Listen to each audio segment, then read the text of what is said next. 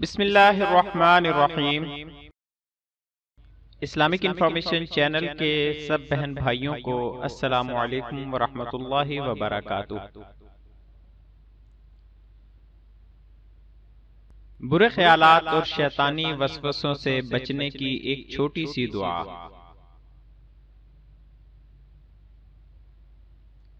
آج کی ویڈیو میں شیطانی وسوسوں سے بچنے کے لیے ایک بہت ہی چھوٹی سی قرآنی دعا لے کر حاضر ہوا ہوں۔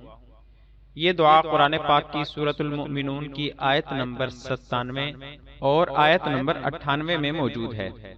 آئیے سب سے پہلے اس دعا کی تلاوت اور ترجمہ سنتے ہیں۔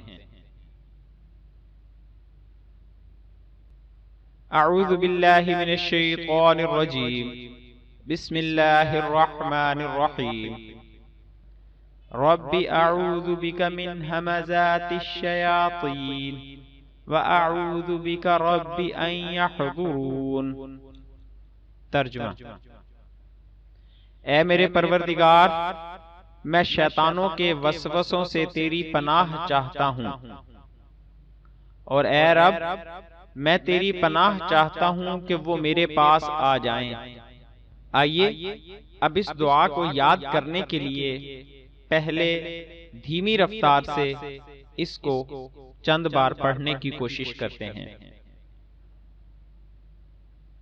رب اعوذ بکا من حمدات الشیاطین و اعوذ بکا رب ان یحضرون۔ ربی اعوذ بک من حمزات الشیاطین۔ وأعوذ بك رب أن يحضرون. رب أعوذ بك من همذات الشياطين. وأعوذ بك رب أن يحضرون. رب أعوذ بك من همزات الشياطين. وأعوذ بك ربي أن يحضرون اب چند بار اس کو مناسب رفتار سے تلاوت کرتے ہیں۔ ربی اعوذ بک من حمذات الشیاطین و بک ربی ان یحضرون رب اعوذ بك من همزات الشياطين واعوذ بك رب أن يحضرون. رب أعوذ بك من همزات الشياطين. واعوذ بك رب أن يحضرون. رب أعوذ بك من همزات الشياطين.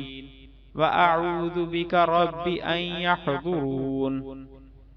ترجمہ اے میرے پروردگار میں شیاطینوں کے وسوسوں سے تیری پناہ چاہتا ہوں۔ اور اے رب میں تیری پناہ چاہتا ہوں کہ وہ میرے پاس آ جائیں۔ سورت المؤمنون آیت نمبر ستانوے اور اٹھانوے۔ مزید اسلامی دعاؤں اور اسلامی معلومات کے لیے ہمارے چینل کو سبسکرائب کریں اور ہماری ویڈیوز کو لائک اور شیئر ضرور کریں۔ شکریہ۔ جزاک اللہ خیر